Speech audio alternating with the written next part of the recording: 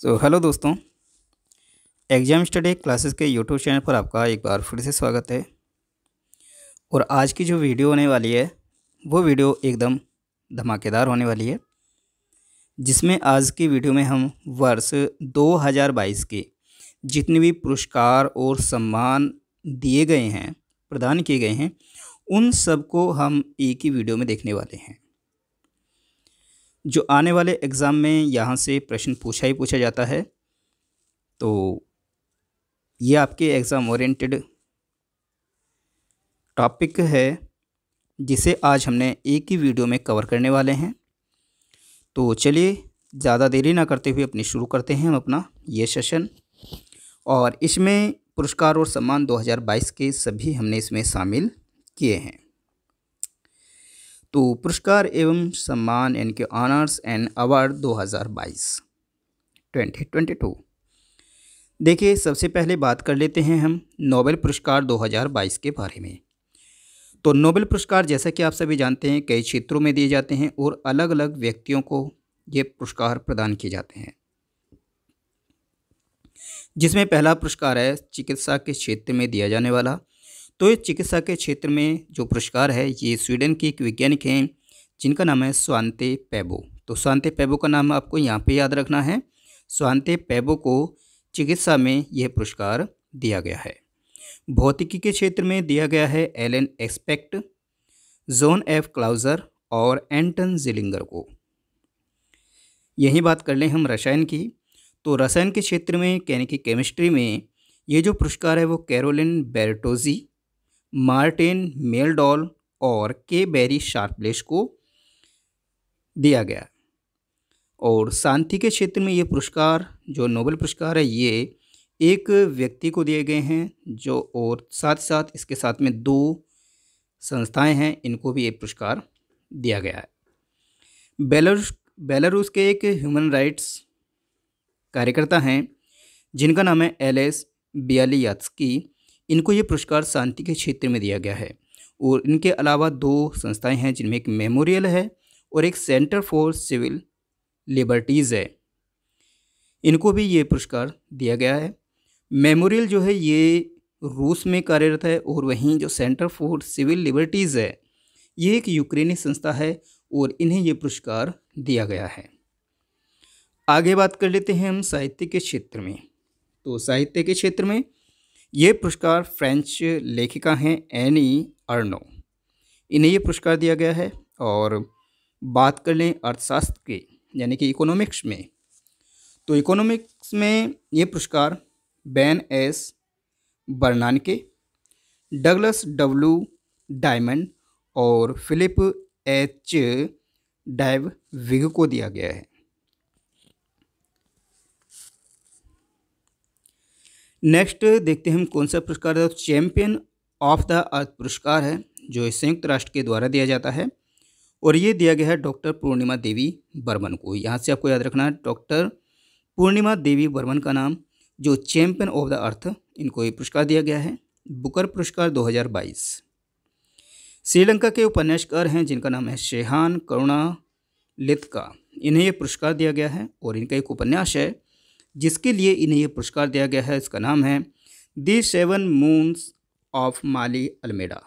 तो इन्हें पुरस्कार इस पुस्तक के लिए दिया गया है।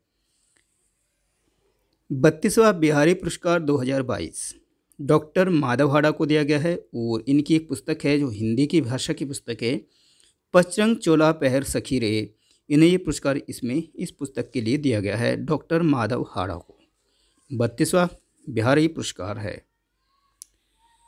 दादा साहेब, फाल्के पुरस्कार 2022 का सॉरी 2020 का दिया गया है ये, और ये बावनवा पुरस्कार है। और ये जो पुरस्कार है, ये केंद्र सरकार के द्वारा दिया जाता है, जिसमें जो अभिनेत्री हैं आशा पारेख, इन्हें बावनवा दादा साहेब फाल्के पुरस्कार 2022 दिया गया है। यह आपको इक्यावनवा दिख रहा होगा, लेकिन ये मिस्टेक मैं बाई मिसप्रिंट है, आप इसे 52 समझेंगे। और वहीं हम बात कर लें इक्यावनवा पुरस्कार। तो इक्यावनवा जो दादा शाही फाल्के पुरस्कार है, ये अभिनेता हैं रजनीकांत। इन्हें दिया गया और जो पचासवा दादा शाही फाल्के पुरस्कार था, ये अमिताभ बच्चन को दिया गया। यूनेस्को का शांति पुरस्कार 2022 ये जो पुरस्कार है, यह जर्मन की पूर्व चांसलर हैं एंजेला मार्केल। इन्हें दिया गया है। मिस इंडिया यूएसए 2022 ये दिया गया है आर्या वालवेकर को फेमिना मिस इंडिया 2022 का जो पुरस्कार है सिनी शेट्टी को दिया गया है और ये हैं कर्नाटक से। Global energy prize 2022 professor Kaushik Rajashekar को दिया गया है ग्लोबल एनर्जी पुरस्कार 2022 विशेष बांग्ला अकादमी पुरस्कार है, जो वेस्ट बंगाल के चीफ मिनिस्टर हैं ममता बनर्जी को दिया गया है और इनकी एक पुस्तक है, कविता बिटान, के लिए पुरस्कार जीता है। विश्व खाद्य पुरस्कार 2022 वेरी इंपॉर्टेंट होगा। डॉक्टर सिंथिया रोसेंस वेक को दिया गया है। टेम्पलिन पुरस्कार 2022 ये फ्रैंक विल्जेक को दिया गया है, टेम्पलिन पुरस्कार। साथ ही बात कर लें, पहला दीना, लता दीनानाथ मंगेशकर अवार्ड जो है, ये हमारे जो प्रधानमंत्री नरेंद्र मोदी इन्हें प्रदान किया गया है। अंतर्राष्ट्रीय बुकर पुरस्कार के बारे में बात कर लें तो एक जाने माने लेखिका हैं गीतांजलि श्री इन्हें 2022 के अंतर्राष्ट्रीय बुकर पुरस्कार की जो घोषणा की गई है, वो 26 मई 2022 को इनको सम्मानित किया गया और उन्हें यह पुरस्कार उनकी एक पुस्तक है, रेत समाधि, जिसका एक अंग्रेज़ी अनुवाद है, टॉम्ब ऑफ़ सैंड के लिए दिया गया है। और इस टॉम्ब ऑफ़ सैंड जो पुस्तक है ठीक है? इसमें जो अंग्रेज़ी अनुवाद हुआ है, वो डेजी रॉक वेल ने किया है, ठीक है? इस पुस्तक का अंग्रेज़ी अनुवाद है टॉम ऑफ़ सेंड जिसे डेजी रॉक वेल ने किया है। तो यहाँ से आपको गीतांजलि श्री को याद रखना है, अंतर्राष्ट्रीय बुकर बुकर पुरस्कार है, और इनकी एक पुस्तक है रेत समाधि, इसको भी आपको यहाँ से याद रखना है। अगला पुरस्कार है छप्पनवा ज्ञानपीठ पुरस्कार। तो छप्पनवा ज्ञानपीठ पुरस्कार है। ये प्रख्यात असम के कवि हैं नीलमणि फूकन। इनको ये दिया गया है और सर्वोच्च साहित्य पुरस्कार है।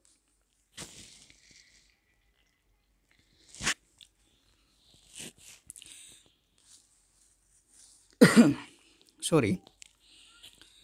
और नीलमणि फूकन की जो एक प्रमुख कृति हैं, जिनमें कुछ कृति हैं, जैसे सूर्य हैनो नामी अहे ऐ नोडियदी कोविता और कुलापी जमूर लगन ये इनकी कुछ प्रमुख कृतियाँ हैं इनके लिए पुरस्कार नहीं दिया गया है बल्कि ये इनकी कुछ महत्वपूर्ण कृतियाँ हैं जो इससे रिलेटेड करके प्रश्न पूछा जा सकता है ठीक है तो छप्पनवा ज्ञानपीठ पुरस्कार नीलमणि फुकन को दिया गया है जो असम के कवि हैं बात कर ले वहीं सत्तावनवा ज्ञानपीठ पुरस्कार जो है ये किसे दिया गया है तो ये 2022 में दिया गया है और कोंकणी लेखक हैं दामोदर मौजे।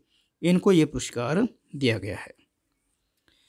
चलिए आगे बढ़ते हैं हम सरस्वती सम्मान 2021 के बारे में। तो सरस्वती सम्मान जो है 2021 है। ये एक लेखक हैं, ये इकतीसवा पुरस्कार था और प्रोफेसर राम दरश मिश्र को ये पुरस्कार प्रदान किया गया है और ये पुरस्कार बिड़ला फाउंडेशन के द्वारा प्रदान किया जाता है। और उन्हें यह पुरस्कार उनकी कविता संग्रह मैं तो यहाँ हूँ के लिए दिया गया है। बात कर ले यहाँ पर पिछला यानी कि तीसवा जो सरस्वती सम्मान था, ये मराठी भाषा के लिखे गए डॉक्टर श्रवण कुमार लिम्बाले को दिया गया था और उनकी कृति थी, उनका एक उपन्यास था, जिसका नाम है सनातन। तो सनातन के लिए पुरस्कार उन्हें दिया गया था।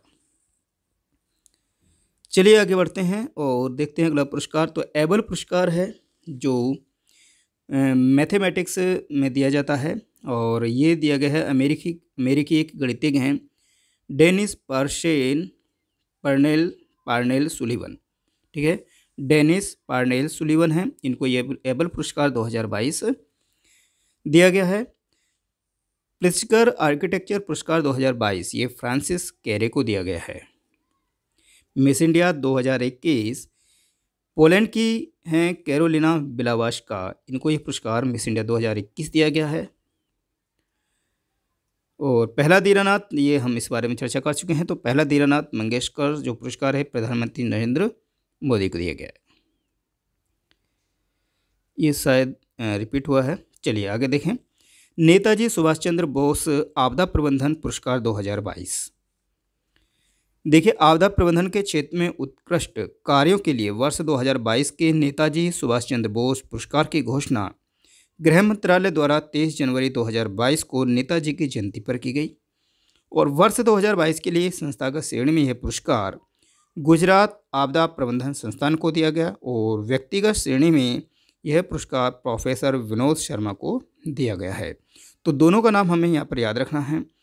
अगर पूछा जाता है कि संस्थागत श्रेणी में तो बताएँगे, गुजरात आपदा प्रबंधन संस्थान और पूछा जाए व्यक्तिगत श्रेणी में तो प्रोफेसर विनोद शर्मा को ये पुरस्कार दिया गया है।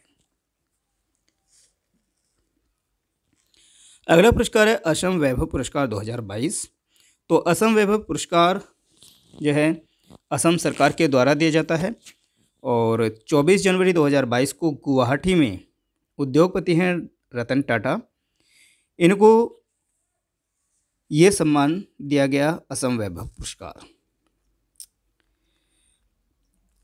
आईबीसी बेस्ट इंफ्रास्ट्रक्चर प्रोजेक्ट जो पुरस्कार है, ये दिया गया है अटल टनल को। ये इंपॉर्टेंट होगा क्योंकि आईबीसी बेस्ट इंफ्रास्ट्रक्चर प्रोजेक्ट पुरस्कार है। इनकी इंफ्रास्ट्रक्चर्स में सर्वश्रेष्ठ पुरस्कार जो है, वो किसने जीता है, किसको दिया गया तो अटल टनल को दिया गया, जो अटल सुरंग है इसे ये दिया गया है। चमेली देवी जैन पुरस्कार 2021 है और ये पत्रकारिता में दिया जाता है।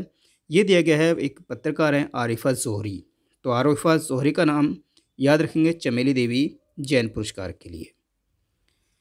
Champions of the earth life time achievement जो अवार्ड है, ये सर डेविड एटनबरो को दिया गया है, जो एक बहुत बड़े, क्या हैं पर्यावरणविद हैं।